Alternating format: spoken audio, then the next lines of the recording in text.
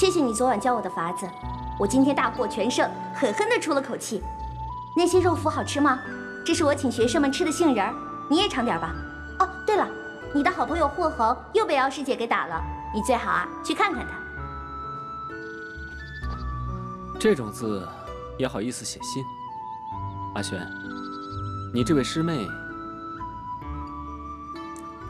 还真够乱七八糟的。行了行了，我又不是姚娟，装什么装？谁装了？那死丫头下狠手，牙都快给我打掉了。还好这回打的是肚子，不是上回那，要不然我爹就别想抱孙子了。你也老大不小了，怎么还没个正经啊？哎，是是是，魏少妇说的对。不过我一天没有看遍天下美女，我就一天不会成亲。哎，你呀是不会懂我的。在你看来，从一而终叫深情，可是在我看来，像老邓那种，为了找像老情人那样的女人，把京城翻了个遍，那才叫做深情。少跟邓志混在一块儿，他不是什么好东西。哎，行了行了行了行了，你俩的恩怨，少扯上我。好了，不说他了。姚娟是个好姑娘，你到底想怎么样？她好玩，我就逗逗她呗。我就不信你对她没意思。是，我是对她有意思。不过天底下的美女，没意思的还真不多。嗯，你小时候要娶的那个殷家的小姑娘最有意思。什么殷家杨家的小姑娘？不好意思，不好意思，没伤到你吧，姑娘，真是不好意思啊。姚娟，哎。哎，我叫你怎么不说话呀？怎么了？又撞上别人了？长没长眼睛？哭什么呀？哎呀，对不起，对不起，对不起！你刚才不是把我头打了吗？我这才说话颠三倒四的。最多两碗鸡汤，给我补补就好了。那就补死你吧！二啊！你又砸我脚！活该！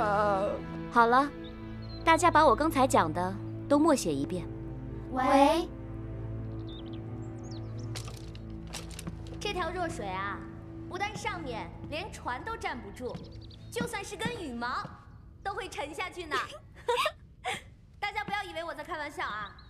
不信呢，你们就回去看《尚书》里禹贡的一节：“黑水西河为雍州。”弱水既西，又置弱水至于河里。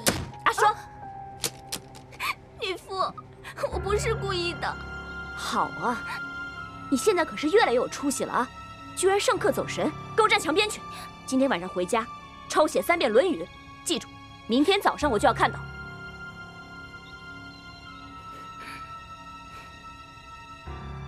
好了，别哭了，大不了我们帮你抄就好了。是啊，他就是小心眼儿。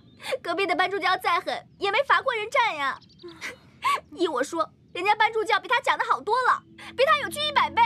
哎呀，小声点，别让阿岑他们听见了。听见就听见。其实我早就受不了他那副鼻子长到眼睛上的傲气劲儿了。照这样下去，我真想转到乙班去。嗯，我是来上学的，我又不是来受气的。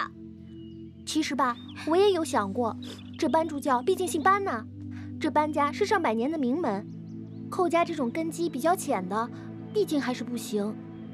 没错啊，我爹说过，班家的正堂上挂的是一块满门清华的牌匾，那可是当年东方朔亲自写下来的呢。可寇家的正堂上挂的竟然是一把刀。说是这样说，但是那学堂还是寇女傅来管的呀，得罪他没什么好处的。怕什么呀？他不是马上就要走了吗？就是因为这个，太后娘娘才新征女妇入宫的呀。怕就怕她一时半会儿还嫁不出去呢。哎，你们知道我大哥在邓大将军手下做事吧？嗯嗯。那天我听到他跟我二哥在议论了，说邓大将军嫌寇女妇没味道，拖到现在都不肯成亲的。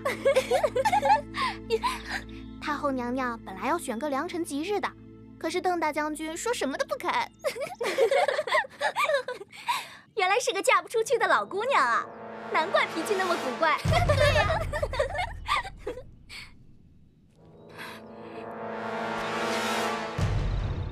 姑娘，我去帮你教训他们。不用，我自己去。哎，急什么呀？学生们聚到一块儿，哪有不胡说八道的？你心胸那么宽大，不会当真了吧？关你什么事？哎，怎么不关我的事儿啊？寇女妇，有件事呢，我早就想跟你商量了。你看，这试讲的事儿都已经过去了，那咱们以后就不用在针尖对麦芒了吧？我姑姑都已经喜讯教训过我了。最近的事儿，我是做的有点过火了。不过她说的对，你真的不用放在心上。什么班家比寇家强，那都是别人的闲话。什么？你居然把我们打赌的事告诉曹大姑了？对啊，怎么了？很好，很好。你们班氏的女人一贯都是如此假惺惺。嘴上说着要别人别往心里去，暗地里却一再轻视我们寇氏。别以为我听不出来你话里有话。什么假惺惺？你嘴得放干净点儿。我姑姑好心好意帮你说话，你居然还不领情？谁稀罕你们的情了？寇兰芝，你别那副嘴脸，你不过就是没有赶走我，心里不痛快罢了。愿赌就要服输，我讲的哪点不如你了？就你那点微末道行，还敢跟我比？我刚才好像听说，你们那些甲班的好学生，已经有人想转到我们乙班来了。谁是微末道行还说不定呢。哼，好，既然你这么大口气，敢不敢跟我再比一场？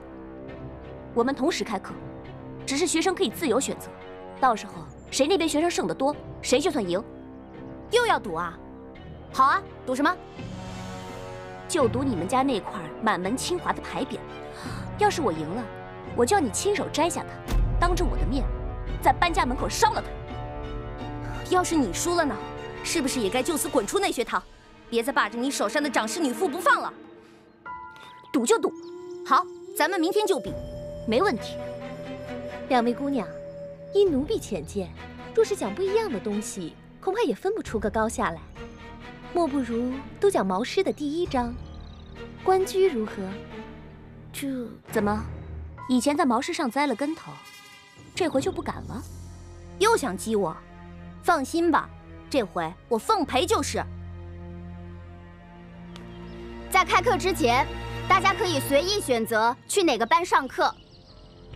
开课之后，大家也可以根据自己的喜好随便更换，绝不强留。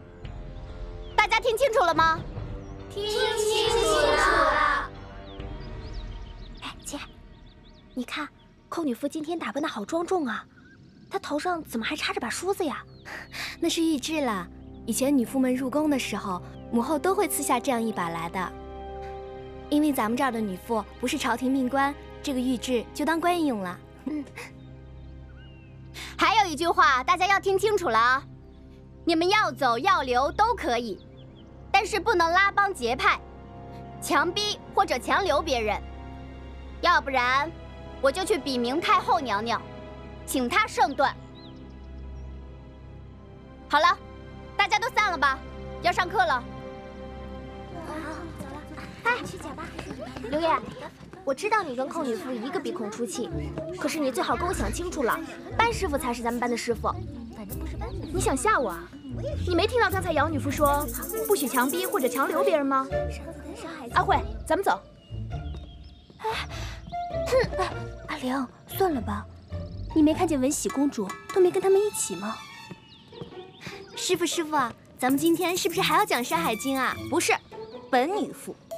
嗯，本助教从哪儿跌倒就要从哪儿爬起来。今天咱们还要讲毛诗。关关雎鸠，在河之洲。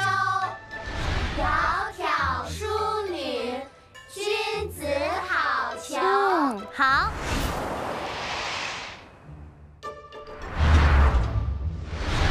《关雎》这首诗，想必大家都已经很熟了。《关雎》全文讲的都是后妃之德，周文王正是得了太姒这位贤后，才能治理的天下升平。太姒也是勤勉不辍，所以才能够让文王敬之爱之。各位以后也都是忠臣良将之妻。希望能以太姒为榜样。好无聊啊，每次都讲这些。好，这首《关雎》呢，想必大家都已经很熟了。下面呢？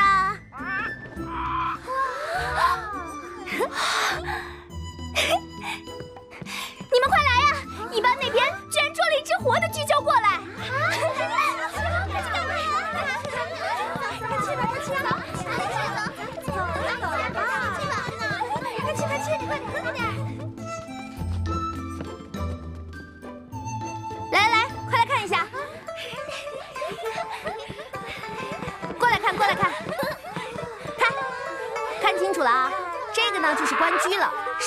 鸟的一种。来，姐，你看它的嘴才这么长。嘘，安静一下，听它怎么叫的。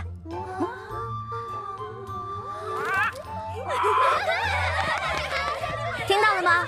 关关雎鸠，这就是关关雎鸠了。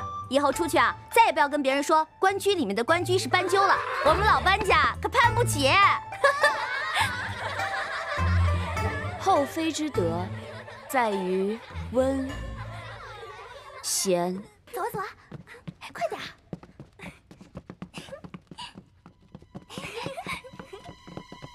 恭让。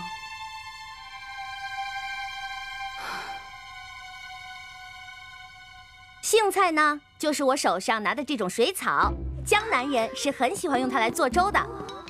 来看一看。不过大家呀，别光想着它好不好吃，而是想一想这关雎里面为什么要讲参差荇菜，左右芼之，窈窕淑女，钟鼓乐之。因为在文王的眼里啊，娶一位贤妻和吃饱饭都是头等重要的大事儿。这天底下呀，只要能让老百姓吃饱饭的皇帝。都是千古明君。讲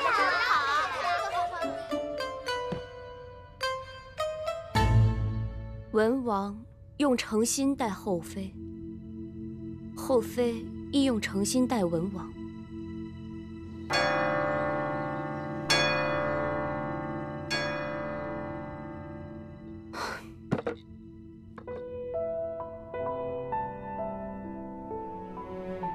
女傅，你们走吧。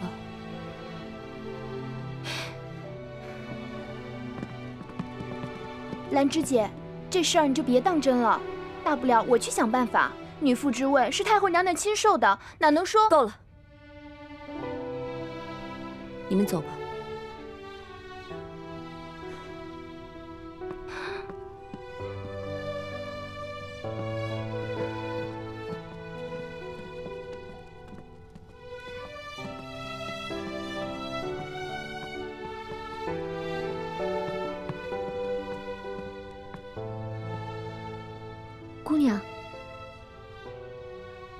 你去把班叔请过来，然后到外面去等我。我丢脸的时候，不想让别人看见。喂。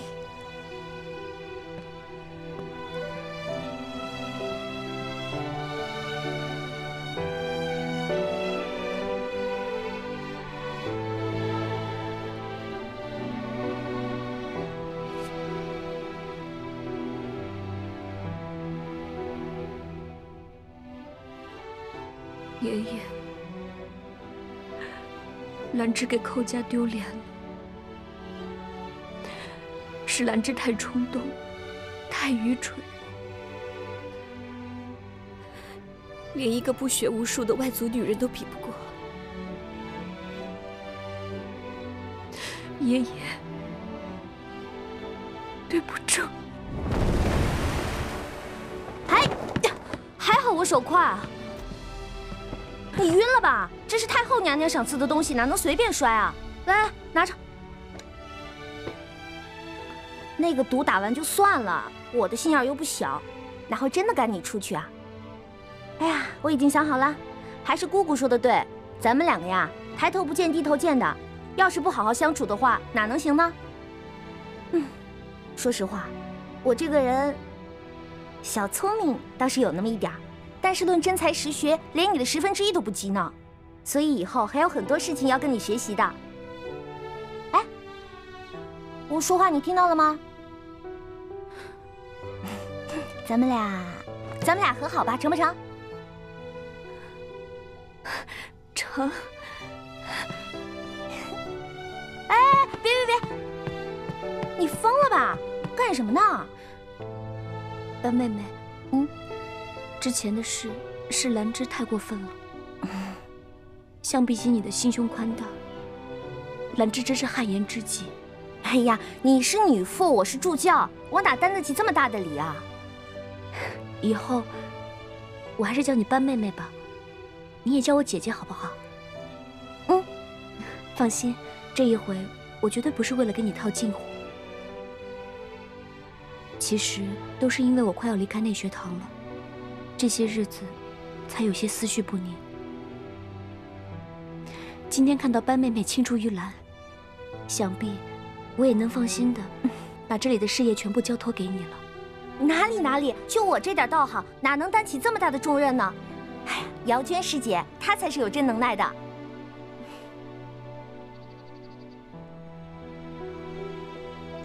班妹妹，嗯，还寄望你每逢朔望都来甲班讲讲课。要是寇女夫愿意，班叔自当遵从。哦，对了，今天比试的事儿啊，我会想个法子把它遮过去的。大不了就跟他们说咱们在开玩笑。啊，班妹妹大人有大量，我这个做姐姐的真是羞愧至极。好了，那我先走啦。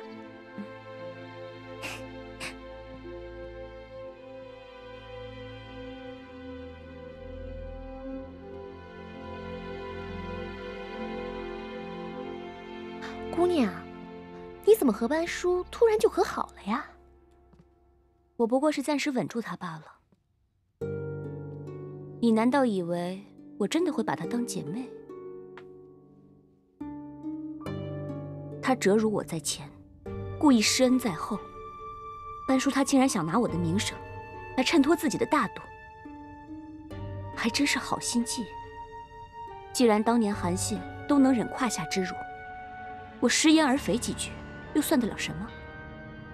只要我还留在内学堂，就还有赶走他的机会。你去叫刘燕过来，就说我刚才被班叔气晕过去了。喂，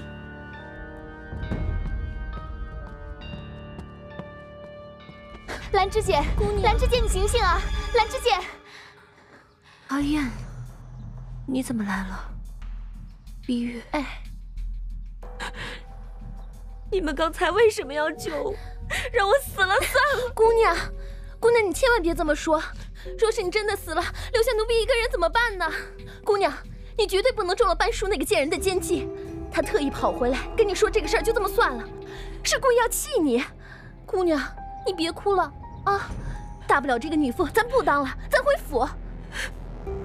都怪我自己学艺不精，才会中了他的激将法。这才跟他打了这个赌。啊，原来你跟他打赌那件事是他故意提前下好的圈套，可不嘛！我们家姑娘根本不想理他，是他自个儿跑过来要跟我们家姑娘比试。其实，他就是妒忌我们家姑娘，妒忌我们家姑娘京城第一才女的名号，而且自打进了内学堂第一天开始，就变着法儿要把我们家姑娘排挤走，好自己当上掌事女妇。他也想当掌事女妇啊！他那天来。就这么跟我们家姑娘说的，寇兰芝，你是不是应该滚出内学堂？别再霸着长侍女妇的位置不放啊！行了，别说了，都是我自己学艺不精。她太不要脸了！寇姐姐这样温温柔柔的人，她就是个野女人，你不被她欺负才怪呢。你放心吧，兰芝姐。对付这种人，我有的是法子。我之前那个便宜妹子，不是挺能折腾的吗？最后还不是被我赶到鸟不生蛋的地方去了。兰芝姐，你等着，等我去安排，最多到后天，你们就有好戏看了。哎，你要去干什么？我去帮你收拾他呀。不行，阿燕，我知道你人好，可是班叔他毕竟是你的师长。我不能眼睁睁地看着你，兰芝姐，你放心吧，这件事情我一人做事一人当，你就当做不知道就好了，一切有我。嗯，姑娘，擦擦吧，妆都哭花了。借别人的刀子，就是比自己的好使。来，拿着。谢谢。过来，听我说，都听清楚了吗？快去。喂。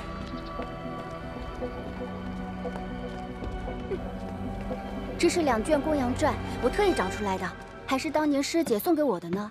上面有不少的批注，还有备案，你呀拿回去好好看看。好的，谢师姐，我肯定看啊。嗯，走吧。姚娟，你等等。我我我先走了啊。好什么呀？停！哎，停！等等！死丫头，跑得比兔子还快！活该！谁让你成天拿我师姐当猴耍？谁耍她了？我对她是真心的。那你干嘛整天逗她、闹她、骗她，还说什么天底下有意思的姑娘多的是？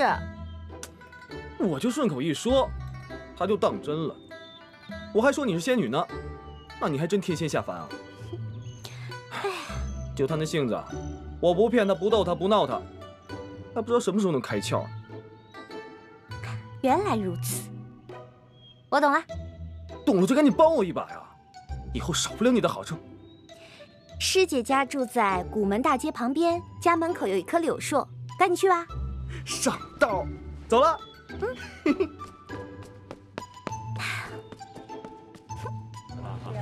好嘛，停！停！好吗！你们是什么人？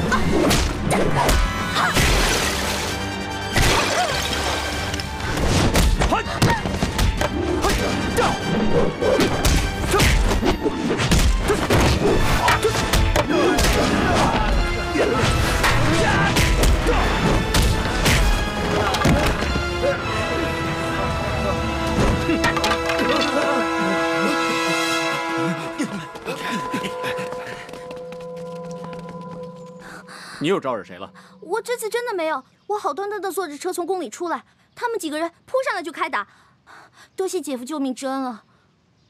你没事吧？我让我看看你的伤。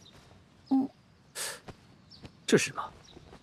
哦，这是姚师姐给我的书。这回啊，多亏了他们，要不然你说我手无寸铁，早都被他们打死了。这是严君平严夫子亲手所抄的《公羊传》。多少人求也求不到的珍宝，你就这么糟蹋他们？对不起，对不起，我不是故意的，真的，我不是故意的，我是一时着急，我才拿他当。每次你犯错就说我不是故意的，我不是故意的，你不烦我都烦了。可这回真的不能怪我呀，他们要杀我，什么武器都没有。那些家伙只是拿着棍棒，连刀剑都没有，哪有一点要置你于死地的意思？那棍子打不死人吗？你刚才明明看见他们四个打我一个，未央，你讲点道理好不好？这里哪一样东西不能对敌？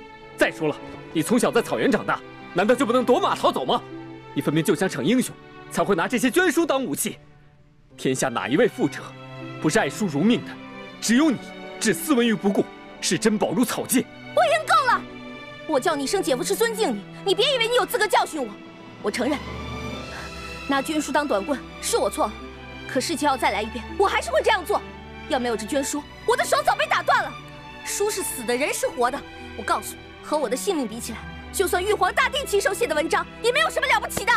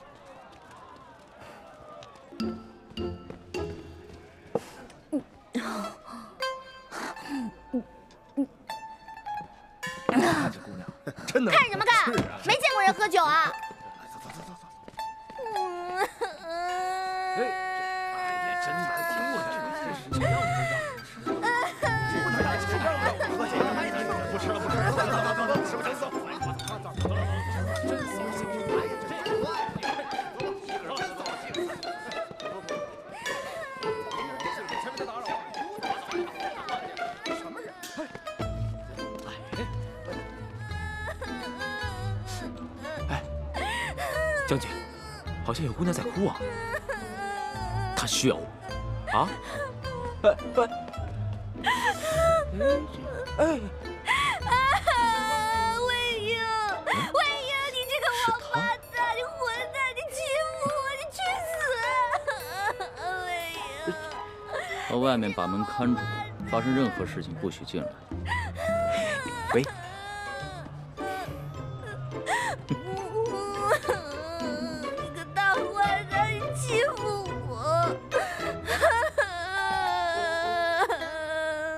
喝了，用得着你管吗？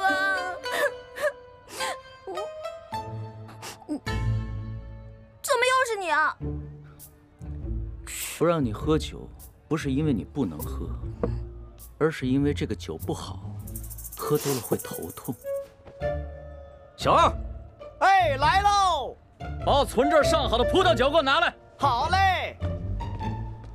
光喝酒可不行，还要一点下酒菜才好，要不然不吃饱了怎么有力气哭呢？拿，吃点东西。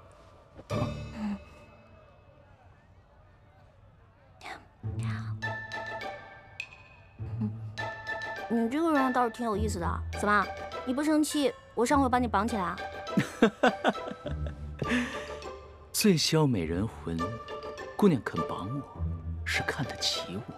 二位，酒来了。来，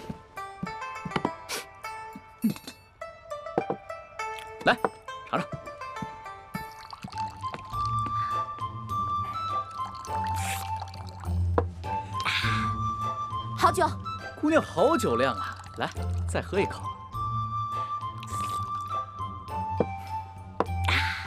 好酒呢，需要有人陪，我陪姑娘喝几杯。走着。嗯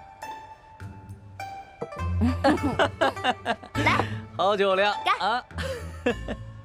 来来来来来，去去！魏少妇，我们家班姑娘还没有回府呢。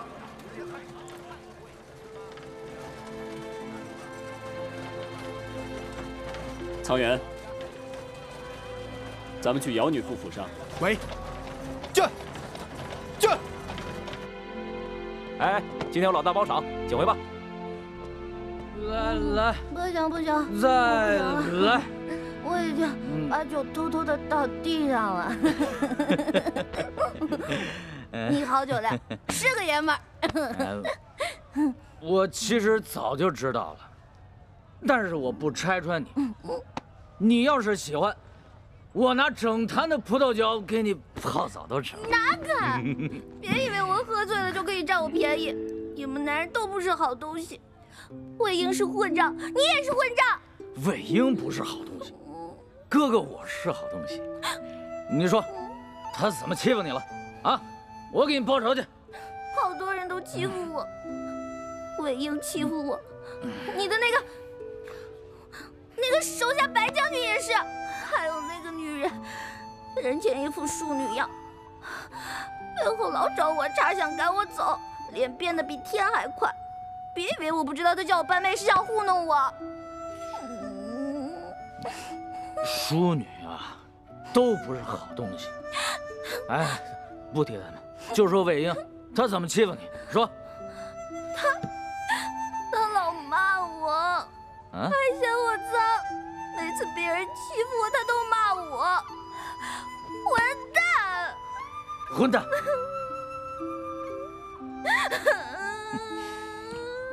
啊，好了好了好了，阿叔妹妹不哭啊，你真的不要再哭了。你怎么知道我名字的？上次一起跟你玩的小伙伴告诉我的。阿叔啊，你听哥哥跟你讲，其实哥哥跟你是同病相怜啊。就因为太后是我妹子。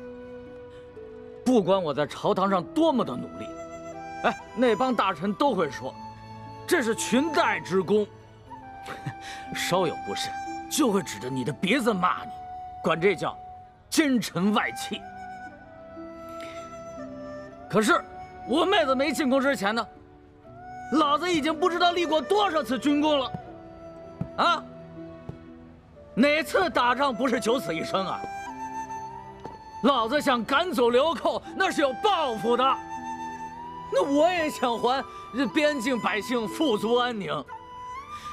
你恨魏婴，我也恨。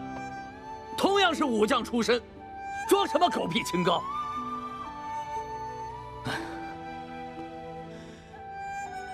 唉，月锦呐，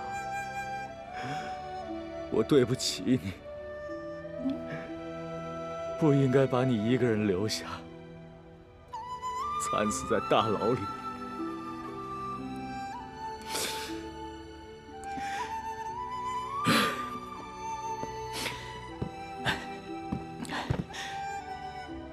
阿叔，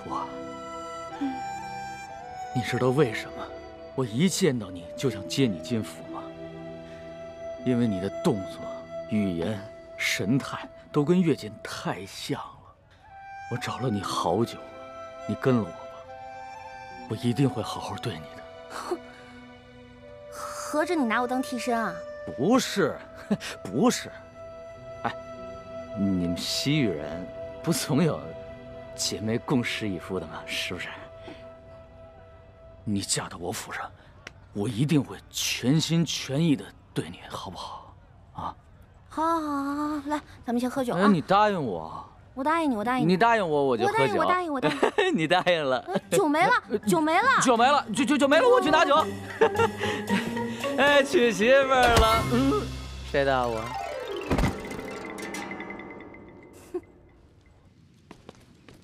魏魏魏师兄，你怎么能这样骂阿叔呢？我我知道，这这是宣师姐留下来的公羊传，所所以你才会那么生气。可是，比起这卷书，阿叔的性命不是更重要吗？就算是宣师姐在世的话，也会这么认为的。你别急，这回是我错了，是我太着急，没替她着想。师兄，以前是看在宣师姐的面子上，我没有多嘴。可是这回我必须要说了，你对阿叔一直都太苛刻了。嗯，没错，阿叔从小是在草原上长大的，性子是有些野，可可是他一直很努力，好不好？嗯，他一来内学堂就使劲的帮我，他为了能够重新当上女傅，天天都苦读到深夜。你知道寇兰芝怎么为难他的吗？几次三番的要赶他出内学堂，可可是他一次都没有抱怨过。可你呢，三番五次的都能把他弄哭了。我是希望他争气一点，配得上班氏百年的清誉。他已经够争气了，更何况他就算再不入流，那那也是师傅的侄女，班定远的掌上明珠啊。魏师兄，我知道因为萱姐的事情，你对外族人恨之入骨，对班勇班大哥也颇有心结。可是我相信你心里一定很清楚，班大哥当初那么做，也是迫不得已。萱师姐也是他的亲人，他难道不想救他吗？魏魏师兄，我请你以后对阿叔公平一点好吗？阿叔他虽然长在草原，也会说胡语，可是他和漠北部之间只有恨。他的娘亲就是被漠北部给害死的。阿叔的母亲，班夫人是舒乐的王女，身份尊贵的很。我曾经听说过离异尚书先帝，说班定远娶了舒乐的贵女，从此拥爱妻，抱爱子，安定远疆，无心内顾。不错，那位贵女就是阿叔的亲娘。当年他知道班大人因为这门婚事被弹劾，而朝廷有意要将他调回洛阳，为了班大人能够长镇西域，为了西域三十六城的安宁，他竟然悄悄一个人远走他乡。后来遇到了漠北部的流寇，受了重伤，生下阿叔后不久就去世了。我之前只知道班定远娶了妻，没想到。说句良心话，西域之前几十年的太平兴旺，都都都是班大人一家用幸福给换来的。没错，阿叔是一直在闯祸，可可是魏师兄，你不觉得用一个中原淑女的标准，去要求一个父母双亡、唯一的亲兄弟又在外出征打仗，而且一个人独自在草原上长大的姑娘，未免也太苛刻了吧？是我太狭隘了。等有机会，我一定会找到他，向他道歉。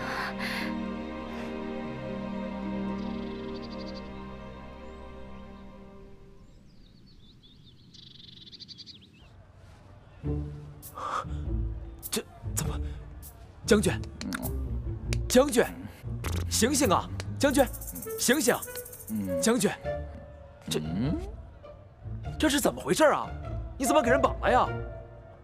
啊？嗯，将军，怎么回事？嗯，将军，不，你笑什么呀？将军，你没事吧？嗯，解开，解开，解开。哦，你等等啊！哎，将军，慢点！哎，将军，有志向的老鹰，即使被绑着脚，也有飞起来的一天；而好色的公螳螂，一定会被母螳螂吃掉。看在你这回陪我喝酒的份上，我就不在你脸上写字了啊！这有志向的老鹰。好色的公螳螂，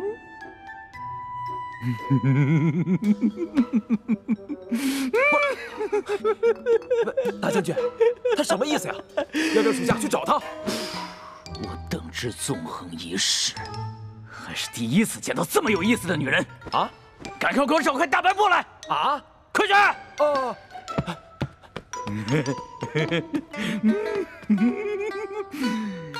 哎！你是谁给我解开啊？秦淮，给我解开！这帮人啊，来者不善，打我出宫起，他们就跟着我了。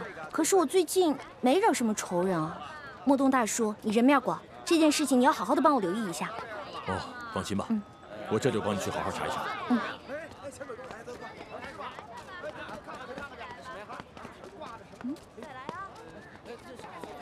出什么事？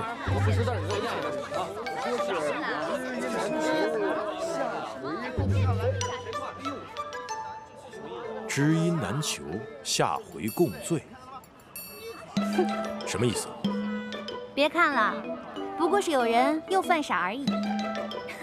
走了。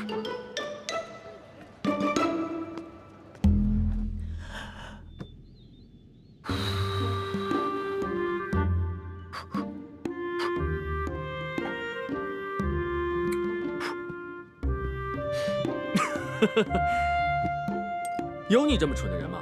被一个女子绑了两次。有你这么蠢的人吗？明明喜欢人家，又说不喜欢人家，啊，还被人发现了。谁知道那么巧啊？哼，老子都吃了三回闭门羹了，那丫头死都不见我。哎，老邓啊，你对女人最有一套了，你帮我出个主意啊。我先送你八个字：精诚所至。金石为开，我再送你五个字：烈女怕缠郎。烈女怕缠郎，这追女人呢，就和打仗一样，一旦认定了目标，就算死不要脸，用尽全力也要奋勇制胜。秦淮，喂，哎，将军，把这幅画拿去画个几百份，贴遍全城。如果有人能够提供他的消息，酬谢一百金。喂，烈女怕缠郎。嗯，烈女怕缠郎。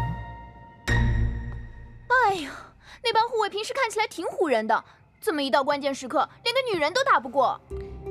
事情没办成也不是什么坏事，班叔的武功那么高，万一哪个护卫被他抓住了，事情不就麻烦了？阿燕，你为人仗义，能替我出出气，我感激不尽。可是，要是事先我知道你用的是这种法子，我是绝对不会同意的。我不过是受了点委屈罢了，要是连累了中山王府和你，我才真是羞愧难当呢。兰芝姐，你这么见外干嘛呀？不光是为你，我自己也挺想教训班叔的。哎，原本只是想打断他一只手脚什么的，叫他去不了内学堂，但谁知道他居然又走了狗屎运。姑娘。